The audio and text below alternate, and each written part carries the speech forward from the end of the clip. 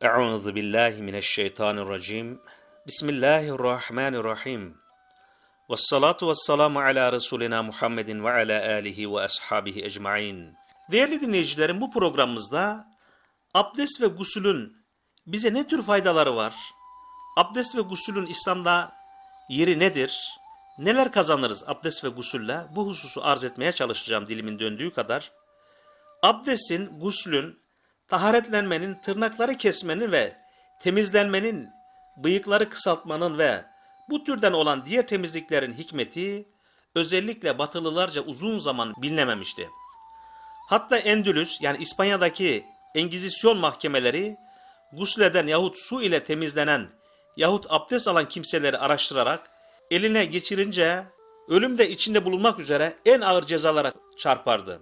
Fakat mikrobun keşfiyle bu büyük olayın ilimde meydana getirdiği müthiş devrim üzerine artık İslam dininin derin hikmetleri, muazzam sırları birer birer göründü ve asırlardan, kuşaklardan sonra bütün inceleme ve araştırma dünyasının şaşkın bakışları önünde inkişafa başladı. Değerli dinleyicilerim, sevgili Peygamberimiz Aleyhisselatü Vesselam'ın ortaya çıkışından beridir ki, İslamiyet bedenin her yerinin temizliğini emrediyor.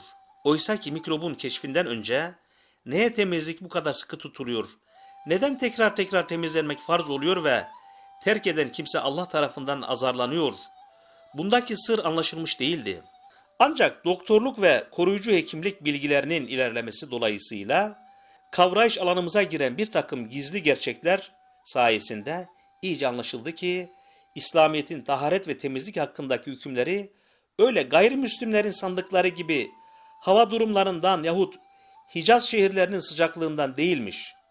Bu hükümlerin tümü yere gireni ve yerden çıkanı, gökten ineni ve göğe yükselenleri bilen, yani Hadis suresinde ifade ediliyor. Yüce Yaratıcı'nın hikmetli tebliğiymiş. Değerli dinleyicilerim, İslam dini elleri ve ağzın, burnun içini yıkamayı, başa, kulaklara meshetmeyi, ayakları yıkamayı emrediyor. Bundan başka bazen vacip, bazen de sünnet olarak bütün vücudun yıkanmasını emrediyor.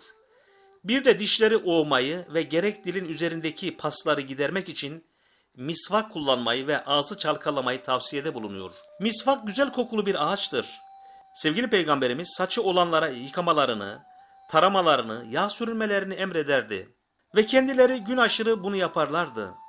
Sonra seferde, hazarda, ayna tarak gibi şeyleri yanlarından eksik etmezlerdi. Büyük peygamber sallallahu aleyhi ve sellem kimin saçı varsa ona hürmet etsin yani temiz tutsun buyurmuşlardır.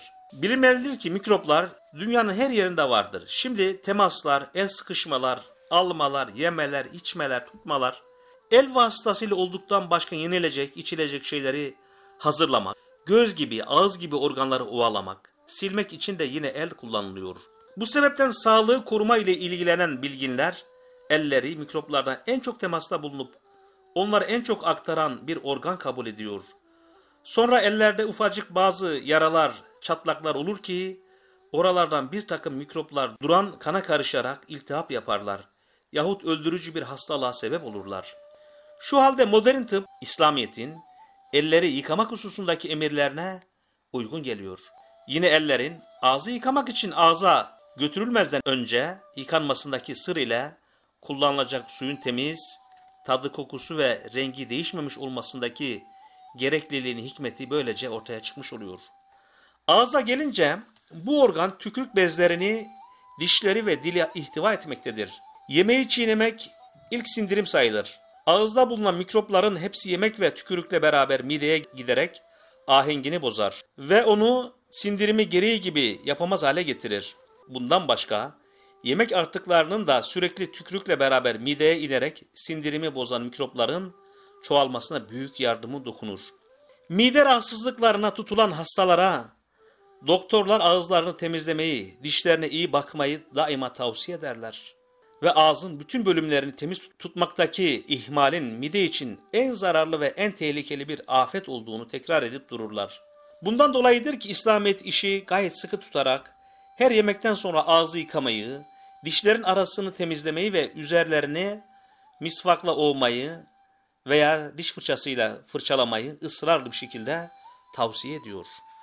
Abdestin her alınışında kullanılan misvakın zararlı mikropları öldürmesinden dolayıdır ki, sevgili Peygamberimiz aleyhissalatü vesselam, ümmetime zahmet vermekten çekinmeseydim, her namazda kendilerine misvak kullanmalarını emrederdim buyuruyor. Buradaki emir, farz ifade eden emirdir. Bir de su ile ağzı yıkamak, misvakla yahut parmaklarla dişleri ovmak sayesinde ağzının şurasında, burasında, dişlerin arasında kalarak kokuşmuş yemek artıklarını bulup çıkarmak imkanı doğduğu gibi bu suretle ağız içindeki tükrük bezleri ve kılcal damarlar ve kan damarları takviye edilmiş olur. Değerli dinleyicilerim gelelim buruna. Burun koklamak ve nefes alıp vermek için yaratılmış bir organdır. Bunun için hava, toz, toprak ve fezada yayılmış bir durumda bulunan tozlar ve mikrobik asalakları bu organdan içeri sokar. İşte insanı bundan korumak için Allah'ın hikmeti burunda bu organın iç duvarlarını kaplayan bir takım kıllarla incecik tüyler yaratmıştır ki hizmetleri o zararlı mikropların akciğerlere yol bulabilmesini yahut kan kanallarından birine girmesini engellemektir. Dışarıdan buruna giren cisimlerin mikroskopla muayenesinden bu gerçek ortaya çıkar ve o zaman İslam'ın su ile burnu iyice yıkama emrindeki hikmet anlaşılır. Zira bu zararlı cisimler kendilerini taşıyan hava ile birlikte ciğerlere giremediği takdirde burnun cidarlarına, duvarlarına yapışır ve orada uzun müddet kaldıkça burun içi zarının ifrazatıyla birlikte içeriye doğru inmeye başlar. Bundan dolayı ağzı yıkamadan önce insanı bunların vereceği rahatsızlıktan kurtarmak, sonra da buruna çekilerek dışarıya verilen su vasıtasıyla dışarı atılan bu mikrop yığınlarının bedenin içine girmelerini önlemek faydası vardır. Bunun içindir ki su ağzın ve burnun ta sonlarına kadar giderek oralarda şimdi söylediğimiz zararlı cisimlerden bir şey bırakmamak için ağza, burna su vermenin kuvvetle yapılması Peygamberimizin sallallahu aleyhi ve sellem emrinin icabıdır. Bu suretle burna su alıp vermek de her abdest ve gusülde tekrarlanır durur. Değerli dinleyicilerim, her abdest ve gusülde yüzün yıkanmasına gelince bu da birçok faydasından dolayıdır. Bir kere el ile ovarak yıkamak cildi kuvvetlendirir. Baştaki ağırlığı ve yorgunluğu hafifletir. Duran kanı düzenlemeye yardımı olur. Çünkü kan kanallarını uyararak durgun kanları harekete getirir. Sonra çıkan teri ve yüzün delikçiklerindeki birikmiş ifrazları gidererek deriye solunum yaptırır ve ter bezlerini gereğiyle vazife yapmaya çağırır. O zaman vücut bir çeviklik, bir zindelik duymaya başlar. Koruyucu hekimlik hakkında yeni yazılan eserler yüzü yıkamaya, yüzdeki bütün uzuvların bilhassa gözlerin temizliğine itina göstermeye son derece teşvik ediyor. Değerli dinleyicilerim, abdest alırken başa mes verilmesinde büyük bir hikmet var. Beyin daima bir takım düşüncelerle yoruluyor, zayıf düşüyor, kan hücumuna uğruyor. Bunun için biraz su ile mes olunması bunu engellediği gibi beyni dinlendirir ve faaliyete geçirir. Kulakların içine dışına kıvrık yerlerine ve boynun iki tarafına su ile mesh edilmesi de derinin üzerindeki pislikleri giderir ve gribi engellemeye çok faydalı olur. Ayrıca beyne giden sinir ve damarlara bu mesin çok faydası vardır. Değerli dinleyicilerim, ayakların yıkanması evvela temizlik içindir. Sonra da parmakların arasındaki deri temizlenmeyecek olursa birçok iltihaplı hastalıkları çabucak kapar. İlmi tetkiklerden tetanoz denilen öldürücü hastalığın mikroplarını ayaktaki derinin çabucak kaptığı anlaşılmıştır. Bunun içindir ki bilhassa askerlik hayatında ayakların yıkanması, uyulması gerekli sağlık tedbirlerinin en mühimlerindendir. İslamiyet her namaz için abdesti yoksa almayı, farz olarak varsa tazelemeyi müstahap olarak emrettiği gibi, guslü de sebepleri gerçekleşince farz olarak emretmiş, cuma ve bayram günlerinde yıkanmayı sünnet sırasına koymuştur. Evet İslamiyet, abdest gibi guslün tekrarlanmasını emretmiyor. Zira bir kere güçlük gerektirir. Sonra bedenin abdest alınırken yıkanması gereken bölümlerinden başkası örtülü bulunduğu için öteki bölümlerin karşılaştığı şeylerden korunmuştur. Değerli dinleyicilerim, sıhhi şartlarına uyularak yapılan guslün faydaları pek çoktur. Tıpta bunun değeri büyüktür. Bedenin kirlerini giderir, cilde yumuşaklık verir, tazelik verir, yorgun sinirleri dinlendirir, uyku getirir, vücudun, beynin gevşekliğini alır, ter çıkaran bezleri çalıştırır. Sevgili Peygamberimiz Aleyhisselatü Vesselam Ebu Derda'ya temizliğe itina göster ki ömrün uzun olsun buyurmuşlardır. İşte bu sevgili peygamberimizin irşadındaki hikmet, son zamanlardaki doktorluk ve koruyucu hekimlik ilerledikten sonra anlaşılmıştır ki şartlarına uyulmak suretiyle yıkanma ömrünü artırır. Değerli dinleyicilerim, bu ibadetleri gusül ve abdestimizi yaptıktan sonra tam manasıyla aldıktan sonra şartlarına uygun bir şekilde sıra namaz ibadetini yerine getirmeye gelir. Namazla önce kulluk borcunu ödemiş olmanın yanında öte yandan namazın ruh ve kalbi dinlendiren hususları yönünden daha nice faydaları vardır. Onun ölçülü, düzenli ve sürekli ve hiçbir yorucu ve yıpratıcı olmayan hareketlerinin kan dolaşımına, sindirim cihazına, sinir sistemine, kaslara iyi tesiri inkar edilemeyecek bir gerçektir. Günlük yaşantımızda ellerimizin dokunmadığı yer, kapmadığı mikrop kalmıyor. Teneffüs cihazımızın bekçiliğini yapan burun, her gün milyonlarca mikrobu tutukluyor.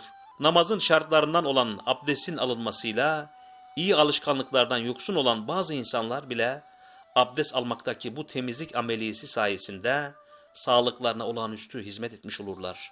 Hem suyun sinir sistemi ve kan dolaşımı üzerindeki müsbet tesiri hemen hemen herkes tarafından bilinmektedir. Abdestin yorgunluğu giderici, insanı uyuşukluklardan kurtarıcı ve ferahlatıcı hususiyetleri namaza devam edenlerce bilinmeyen bir şey değildir. Namazın belirli zaman aralıklarında her gün tekrarlanması, bozulan ruh ve moral dengesini yeniden sağlar. İnsanı disipline alıştırır, iradeyi kamçılar, toplum planında cemaatle kılınan namaz ise fertleri aynı gaye ve aynı hedef yöneltir. Dayanışmayı kuvvetlendirir, karşılıklı sevgiyi artırır, birlik ve kardeşliği perçinler. Değerli dinleyicilerim, Rabbim abdesti, guslü, temizliği, bütün temizliklerimizi, çevre temizliğini, ev içerisinde çalışmış olduğumuz yerlerde temizliğe riayet ederek hareket etmeyi, namazlarımızı güzel bir şekilde ikame etmeyi, ibadetlerde hassas olmayı, harama helale dikkat etmeyi, helal dairede yaşamayı bütün müminlere, bütün kardeşlerimize, bütün sevdiklerimize Yüce Rabbim nasip eylesin. Allah'a emanet olun, hoşça kalın değerli dinleyicilerim.